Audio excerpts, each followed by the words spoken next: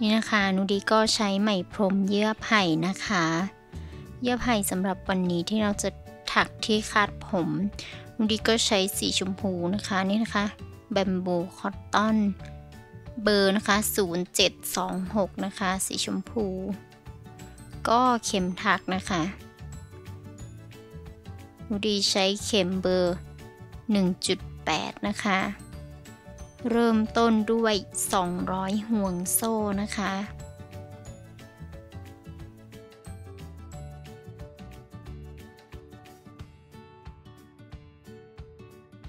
นี่นะคะนุดีก็ได้ 200 ห่วงโซ่นะคะ ก็ให้ถักพอ 1 คอเนี่ยลงไปในห่วงโซ่ที่ 4 จากเข็มนะคะ เริ่มที่ห่วงโซ่ที่ 4 จากเข็ม ก็ให้ถักพอ 1 คอไปตลอดทั้งแถวเลยนะคะ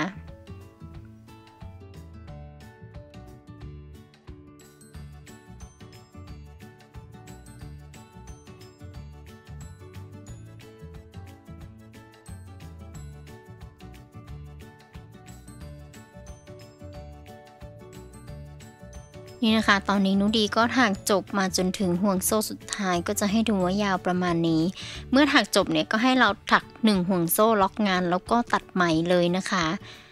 ของนุดีเนี่ยนุดีจะยังไม่ตัดให้ดู เพราะว่านุดีจะถักทั้งหมด 5 เส้น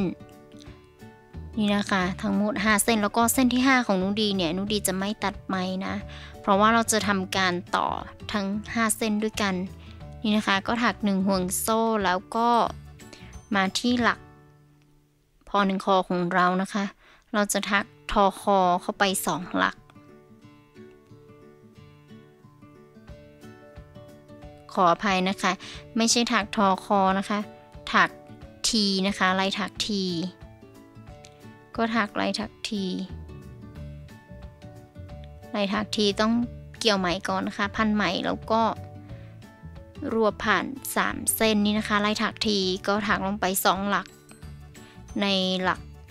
พอหนึ่งคอของเรานะคะแล้วก็จับเส้นที่สองมาเนี่ย จับเส้นที่สองมาแล้วก็ถักเข้าไปเหมือนกัน ก็คือถักลายถักทีเข้าไปสองหลัก ในหลักพอหนึ่งคอของเรานะคะ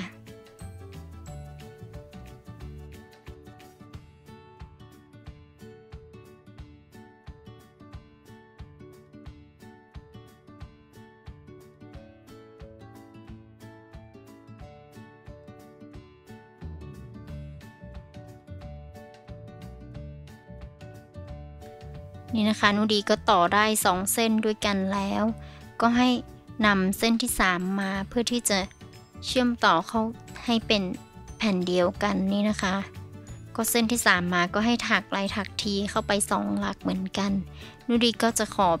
เก็บปลายไหมเข้ามาด้วย ก็จะมีการจับไว้นี่นะคะ ถักลายถักทีนะคะ ตรงหลักพอหนึ่งคอเลย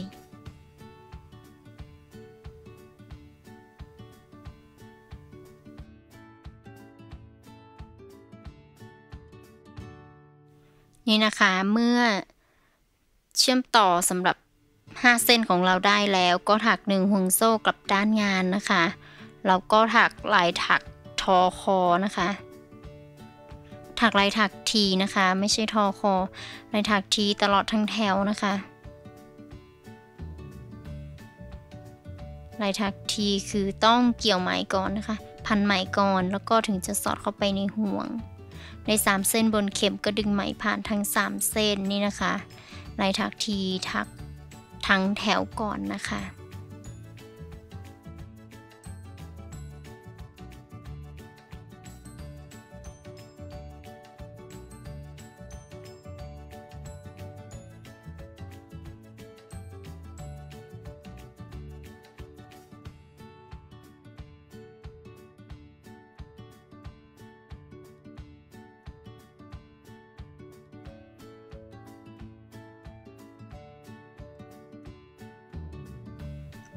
ตอนนี้นะคะ นุดีก็จบแถวลายถักทีในแถวที่ 2 ก็ถัก 1 ห่วงโซ่นะคะ ก็ให้ดูว่าจะเป็นแบบนี้ ถัก 1 ห่วงโซ่แล้วก็กลับด้านงาน แล้วก็ถักลายถักทีไปอีกทั้งแถวที่ 3 นะคะ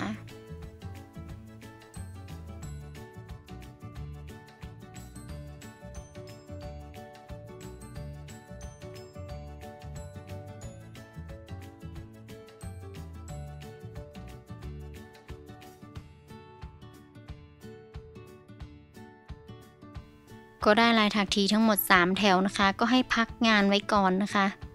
ของนุดีก็พักไว้แบบนี้ก่อนนี่นะคะ สังเกตนุดีถักห่วงโซ่ล็อกไว้ แต่ว่ายังไม่ตัดใหม่นะคะ แล้วก็ยังเหลือปลายใหม่ไว้ ทีนี้เนี่ยนุดีจะเปียนะคะ ก็คือจับ 3 เส้นกลางเนี่ยทับกันก่อน แล้วก็ 2 เส้นมุมด้านข้างค่อยสลับทับกับเส้น 3 เส้นกลางนะคะ ให้เราดูวิธีการตามนุดีเลยนะคะ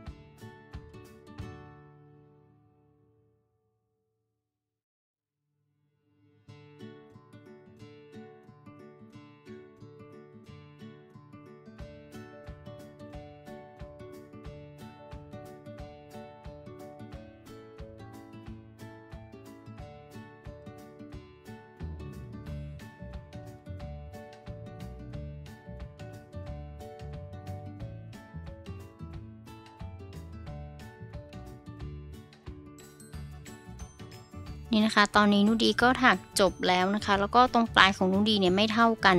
นุดีก็ใช้เข็มเย็บเข้าไปให้มันยึดติดกันแบบนี้นะคะ สังเกตตรงรอยเย็บ ก็แค่ทับๆกันแล้วก็เย็บไปเลย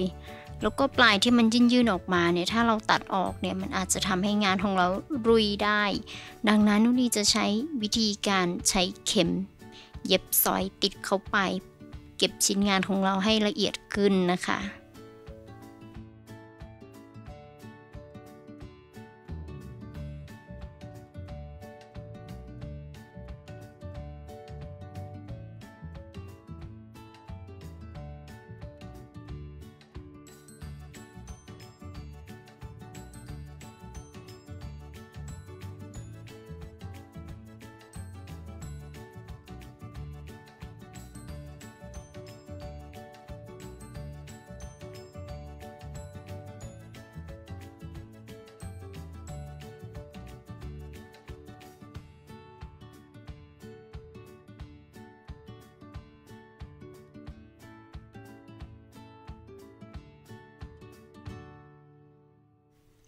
นี่นะคะก็เย็บเสร็จเรียบร้อยก็ออกมาแบบนี้นะคะ ก็ปลายไหมที่มีอยู่เนี่ยก็อย่าเพิ่งตัดนะคะ ก็ให้เหลือยาวๆไว้แบบนี้นะ แล้วทีนี้เนี่ยก็มาต่ออีกข้างหนึ่งที่เราถักลายถักทีไว้ทั้งหมด 5 แถวนี้นะคะ ถักให้ได้ทั้งหมด 5 แถวนะคะนี่นะเมื่อนูดีได้ 5 แถวเราก็จบที่ 1 ห่วงโซ่แล้วก็ให้นำยางรัดนะคะที่เราจะใช้ นี่นะคะก็ยางรัดกับตัวงานของเรานะคะ ก็จับขึ้นมาแบบนี้กลับด้านงานนะคะ ที่ 1 ห่วงโซ่ของเรา เราก็จะถัก x นะคะ ถัก x นะคะไม่ใช่ t นะคะ x จะไม่เกี่ยวไหมนี่นะคะ ก็ถัก x ก็คือสอดเข้าไปในห่วงโซ่เลย แล้วก็ดึงไหมขึ้นมาได้ 2 เส้นบนเข็มก็รวบไหมผ่าน 2 เส้นนี่นะคะ ก็ถักลายถัก x ไปให้จบ แถวนะคะ ในแถวที่ 6 พร้อมกับการเก็บยางรัดนะคะ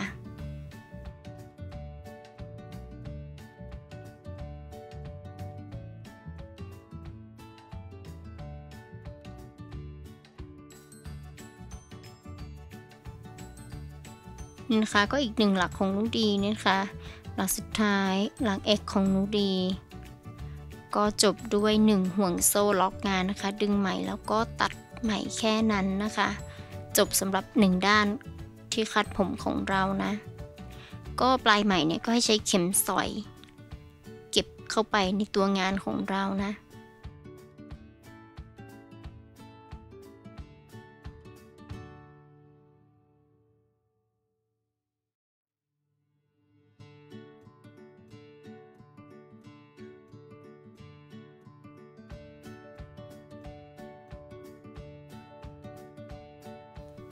ทีนี้นะคะ ก็กลับมาอีกด้านหนึ่งที่เมื่อกี้เราเย็บเก็บงานไว้นะคะ เราก็ใช้ปลายไหมของเราตรงนี้ถักเข้าไปเลย ถ้าไหมสั้นไปก็ให้ใช้วิธีการต่อไหมนะคะนะคะ ก็ให้เราถักเข้าไป1ห่วงโซ่แบบนี้เลยแล้วก็ให้เราถัก1ห่วงโซ่ขึ้นมา จากนั้นก็ให้ถัก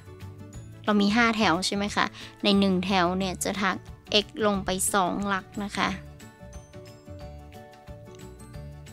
นี่นะคะก็ทาง x ลงไป 2 หลักใน 1 แถวของเราที่เรามีทั้งหมด 5 แถวนะคะ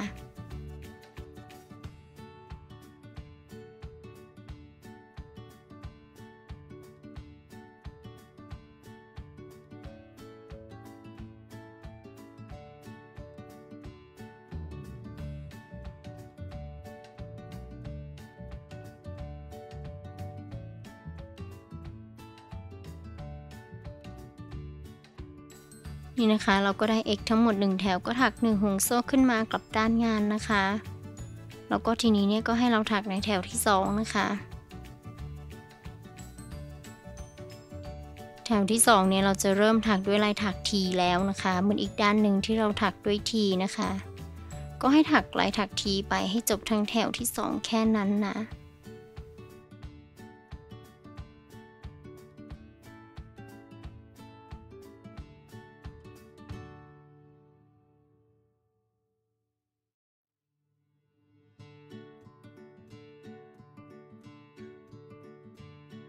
นี่นะคะนุทีก็จบลายถักทีทั้งหมด 5 แถวนะ 1 ห่วงโซ่แล้วก็กลับด้านงานนะคะ ก็ให้ถักลายถักทีทั้งหมด 5 แถวเหมือนอีกด้านหนึ่งทีนี้เนี่ยเราก็จะเชื่อมต่อยางรัดเหมือนกันด้วยลายถัก x เหมือนอีกด้านหนึ่งแค่นั้นนะคะ ก็ให้เราถักลายถัก x ด้วยการเชื่อมต่อเข้าไปเลยสำหรับยางรัดของเรา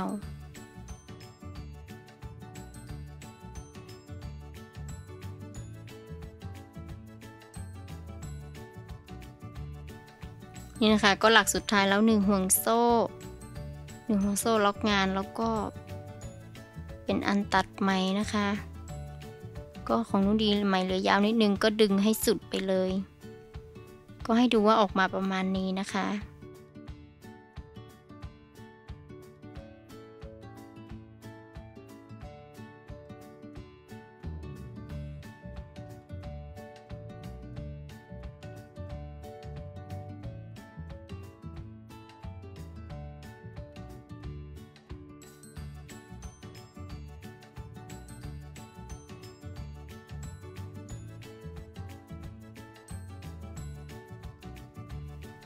ต่อไปนะคะเราก็จะใช้ไม้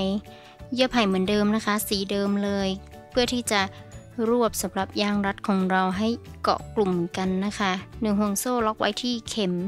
แล้วก็แค่ถักลายถัก X เข้าไปเลยนะคะ ก่อนอื่นก็ล็อกเข็มที่ยางรัดด้วยหนึ่งห่วงโซ่ขึ้นมา ด้วยเลื่อนห่วงขึ้นมานี่นะคะ เลื่อนห่วง แล้วก็หนึ่งห่วงโซ่นะคะ นี่นะคะ1ห่วงโซ่1ห่วงโซ่เราก็แค่ให้ถัก x ไปนะคะ ตามหลักที่เราต้องการว่าเราอยากจะได้หลักสั้น หรือว่าหลักยาวนะคะ ก็ให้ถักจำนวนตามที่เราต้องการ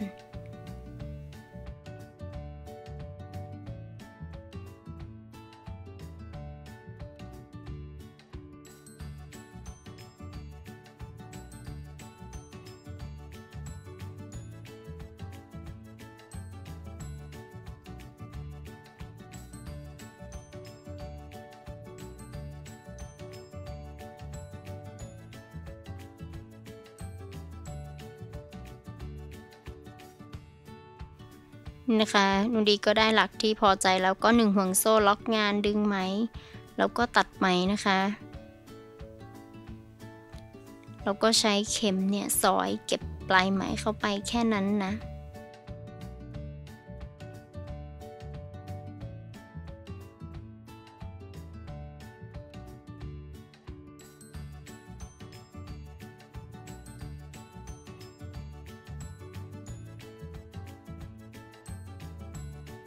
นี่นะคะ ที่คาดผมของเราก็เป็นอันเสร็จเรียบร้อยนะคะ ใครที่ถักตามก็อย่าลืมมาอวดผลงานกันได้ในเพจ ลิงก์ของเพจจะอยู่ด้านล่างนะคะ ส่วนใครที่ยังไม่ได้กดติดตาม ยังไม่ได้กด Subscribe ก็อย่าลืมกดติดตาม และกดรูปกระดิ่ง เพื่อรับการแจ้งเตือนสำหรับวิดีโอใหม่ ๆ กันตลอดนะคะ